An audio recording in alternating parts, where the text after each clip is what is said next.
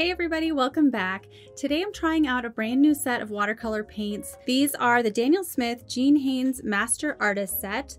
I've been wanting to try these artist sets for a while, and I do have already a lot of Daniel Smith colors, so what I was most attracted to with this particular set was that most of these colors are brand new to me. I don't actually have them. The only colors I already do have are Moonglow and Undersea Green. The rest are completely new. The nice thing about these little sets is that they come in 5 milliliter tubes, so the website even says this. It's a great way to try out new colors to add to your palette so that you don't have to fully invest in a 15 milliliter tube. And some of these colors, like the Nickel Azo Yellow and the Imperial Purple, are not actually sold in 5 milliliter tubes. This is really the only way to sample those in a smaller size. So what we're going to do today is swatch these colors, check them out, and I'm actually going to do something else that I've never done before, and that is to take the tube paint and put them inside of an empty pan set.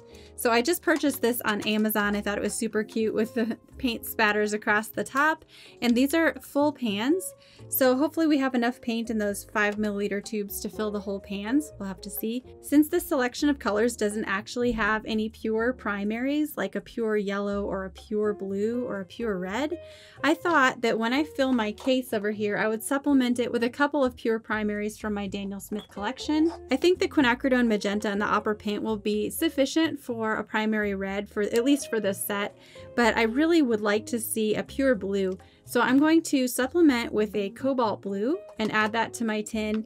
And then I'm going to add a cool yellow. This is Hansa Yellow Light, since the two yellows in the set are quite warm. So after we've swatched all the colors and tried them out, we will test their transparency by painting them over the top of a Sharpie line. We'll just see what they look like. I fully expect, knowing Daniel Smith and just how amazing of a brand it is, that they're going to be gorgeous colors. So I'm really excited to try these. And then I'll go ahead and do a painting using these colors. That's where we're headed. Let's get into it.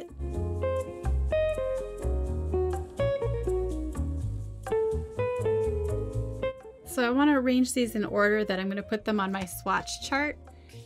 It's a little bit strange. I'm starting with green. Normally you would start with your yellows, I think, but I don't think there's a right or wrong way to do this. So this is just the way I'm going to arrange them. So I've taken all the pans out of my metal tin and I'm going to fill them before popping them back into the tin. And I also have toothpicks on hand so I can smooth the paint out and make sure it's a nice even flow inside of each pan. Things might get messy so make sure you have paper towel. I'm just going to start with my little primaries right here first. These are my additional colors that I'm adding to my pan set.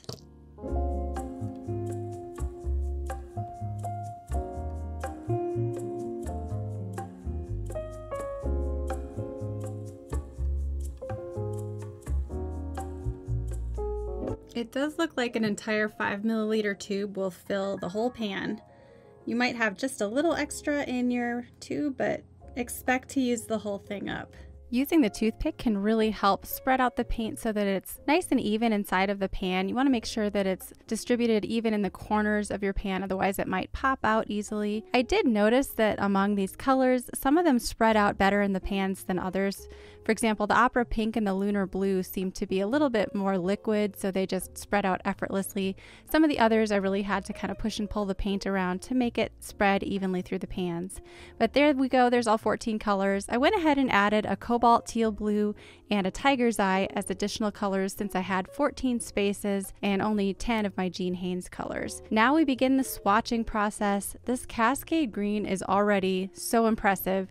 It's this gorgeous, cool green that has kind of a turquoise look to it. It's granulating, absolutely beautiful, perfectly transparent. The green Apatite genuine, also a gorgeous green. The undersea greens, just a little murkier. And what I love about all these Jean Haines colors is that they are really fun colors. None of them are boring. They're vibrant, exciting, and I honestly could not wait to try them, especially after swatching each one.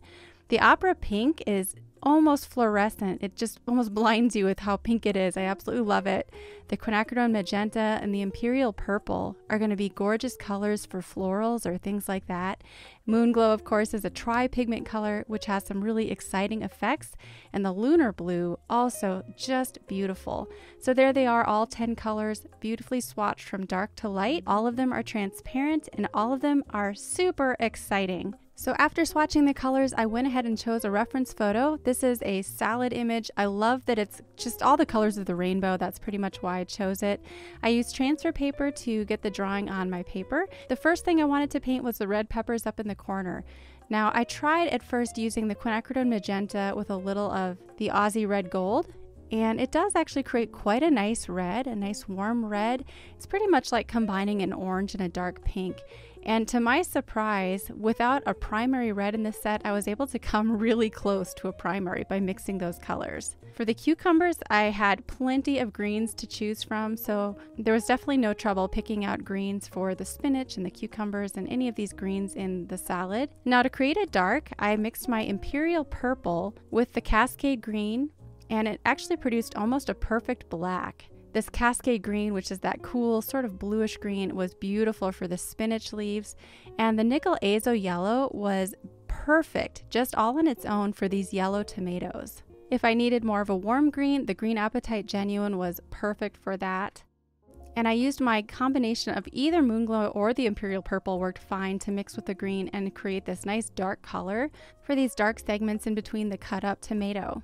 For these juicy cherry tomatoes, the opera pink was a perfect color when mixed with a little of the Aussie red gold. Super vibrant, absolutely scrumptious, and dropping in that nickel azo yellow produced a perfect orange. For the carrots, I used the nickel azo yellow for a base layer and then just added a mix of the opera pink with it over the top, just gradually layering wet and dry. Lots of glazing for this particular painting. To go darker, I could mix my quinacridone magenta with the Aussie Red Gold, and it produced this gorgeous red for the shadow tones between those cut carrots. For this pinkish purple, I used a combination of Imperial Purple with the Opera Pink, and the Lunar Blue was actually such a perfect color for the look of metal on this fork.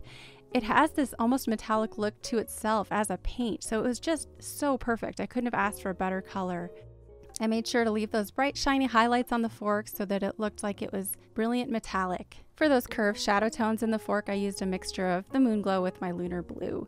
I worked my way across this painting one section at a time, constantly referring to my reference photo, but I was absolutely delighted with all of these colors. I never felt like I was missing anything, and I never had to dip into any of those additional primaries that I added. It just wasn't necessary. This really actually surprised me because I thought I would need maybe a primary blue or at least a cool yellow, but it turned out that this set had everything I needed for this painting, which was such a surprise and a delight to discover.